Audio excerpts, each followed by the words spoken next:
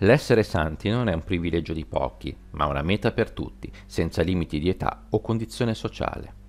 I giovani, in particolare, seguiti dagli adolescenti e dai ragazzi, non sono mai mancati nella storia della santità cristiana, anche se per un lungo periodo la Chiesa non ha preferito proclamare santi o beati dei fanciulli o adolescenti.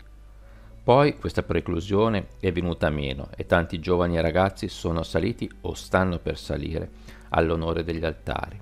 Inoltre le cause in corso hanno subito un'accelerazione e ne citiamo alcuni esempi. Servi di Dio, Silvio di Segna, 12 anni di Moncalieri, Aldo Blundo, 15 anni di Napoli, Angela Iacobellis, 13 anni di Napoli, Girolamo Tiraboschi, novizia Carmigliano di Cremona, Giuseppe Ottone, 13 anni di Torre Annunziata, i venerabili Maggiorino Bilo, Vigolungo, 14 anni, Asperante Paolino di Benevello, Cuneo, Marie Carmes Gonzales Valerio, 9 anni spagnola, i beati Giacinta Marto e Francesco Marto, veggenti di Fatima in Portogallo, il beato Nunzio Supplizio, 19 anni di Napoli, il beato Pedro Culusgond, di 18 anni, martire filippino, beati David Ochelo, 16 anni, e Gildo Irva, 12 anni, martiri ugandesi, la beata Laura Vicugna, 13 anni, cilena, San Domenico Savio, 15 anni, oratoriano di San Giovanni Bosco, Santa Maria Goretti, 12 anni di Nettuno, latina. Velocemente accenniamo anche i santi adolescenti e martiri dei primi tempi cristiani come Sant'Arcisio, San Vito, San Pancrazio, Sant'Agate e Sant'Agnese. A questo incompleto elenco bisogna aggiungere una beata del basso medioevo, periodo storico avaro di figure di bambini santi.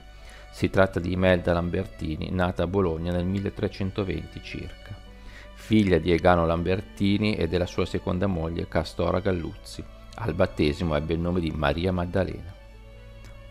Ancora bambina era entrata nel monastero delle Domenicane di Santa Maria Maddalena di Val di Pietra, dove oggi sorge il convento dei Cappuccini, e le fu dato il nome di Imelda. La comunità era composta dalle caniuchesse regolari di Sant'Agostino, le quali verso la fine del XIII secolo erano passate alla regola domenicana. Della vita di Imelda non si sa quasi niente, tranne il famoso miracolo eucaristico che la vide protagonista, come è noto, ricevere la comunione eucaristica. Non era permesso in quei tempi prima di aver compiuto 12 anni ma l'educanda Imelda aveva un solo desiderio, che era quello di ricevere l'ostia consacrata, e ne faceva continua richiesta, ma sempre rifiutata. La vigilia dell'ascensione, il 12 di maggio del 1333, stava in cappella partecipando con le suore e le altre educande alla celebrazione della messa. Arrivata la comunione Imelda inginocchiata, al suo posto pregava fervidamente, desiderando nel suo intimo di ricevere Gesù quando una particola si staccò dalla pistide tenuta in mano dal celebrante e volò verso la bambina. Tutti i presenti poterono vederla. Allora il sacerdote accostatosi la prese e gliela mise fra le labbra. Subito dopo, raggiante di gioia e ancora inginocchiata, Imelda Lambertini spirò in un'estasi d'amore, a quasi 13 anni. Le sue spoglie furono racchiuse in un artistico sepolcro di marmo con un'iscrizione e si cominciò a recitare in suo onore un'antifona. Dal 1582 le domenicane si trasferirono all'interno delle mura di Bologna, ottenendo dalla cura arcivescovile la traslazione delle reliquie della Beata, che oggi si trovano nella chiesa di San Sigismondo. Da quell'anno il suo nome fu inserito nel catalogo dei santi beati della chiesa bolognese. Sotto il pontificato di Benedetto XIV, il quale la ricordò in una sua opera sulla canonizzazione dei servi di Dio, furono avviate le pratiche di conferma del culto della Beata bolognese che però avvenne solo con il Papa Leone XII il 20 dicembre 1826.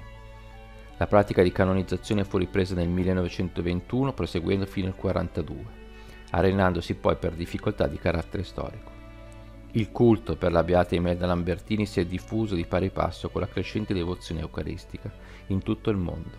È la patrona venerata dei piccoli rosarianti e le beniamine di azione cattolica, e Papa San Pio X nel 1908 la indicò come protettrice dei bambini che si accostano alla prima comunione. In Francia, nel monastero di Proules, sorse in suo onore una confraternita approvata dai sommi pontefici e messa sotto la guida dell'ordine domenicano. Infine il servo di Dio, padre Giocondo Pio Lornia, domenicano, mise sotto la sua protezione la congregazione da lui fondata, le suore domenicane della Beata Imelda, oggi presenti in Italia, Brasile, Albania, Filippine, Camerun e Bolivia. Ringraziamo Antonio Borrelli per il sito santibeati.it, il quale ci ha dato la possibilità di poter leggere questa testimonianza.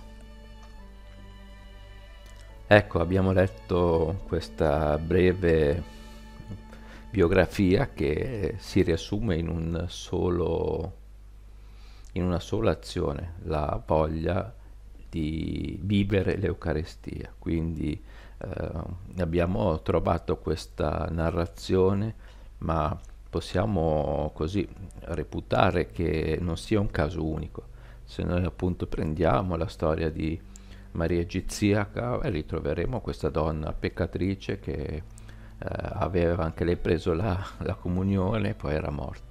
In questo caso questa ragazza, questa bambina, ancora una volta ci insegna tutto il valore fondante che passa dall'Eucarestia.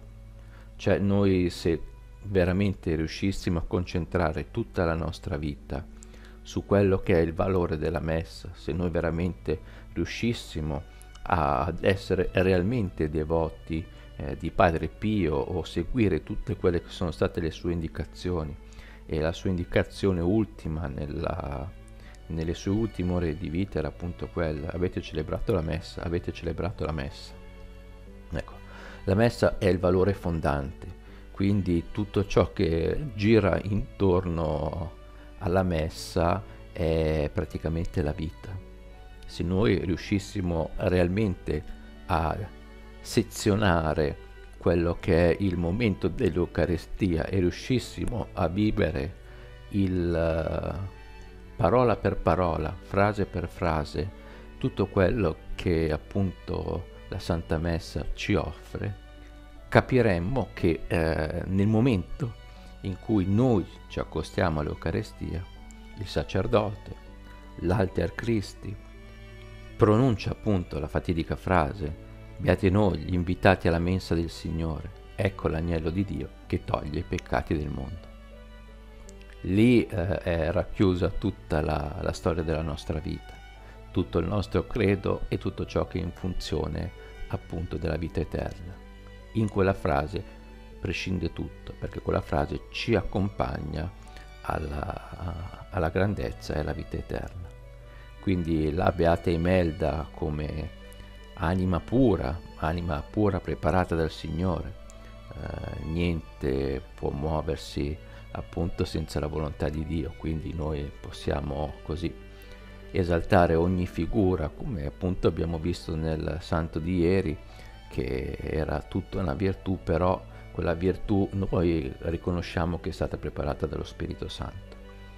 Ancora oggi spero che a prescindere dalla testimonianza dei vari santi che ci sono stati nella Chiesa, eh, giovani anime, anime pure, eh, l'intercessione della Beata Imelda Lambertini ci possa far capire due cose.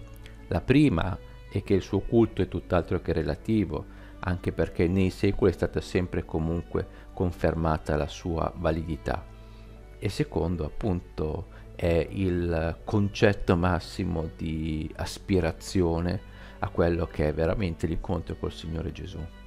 Poi noi possiamo avere tutte le varie devozioni, la nostra fede, la nostra intimità, il nostro modo di porci verso il Signore, questa è tutta una cosa personale. Possiamo anche stare eh, nella stanza a pregare e a, a fare anche 3, 4, 5 rosari, rosari completi, va benissimo ma dobbiamo prescindere dal fatto che l'Eucarestia è la fonte primaria di tutto.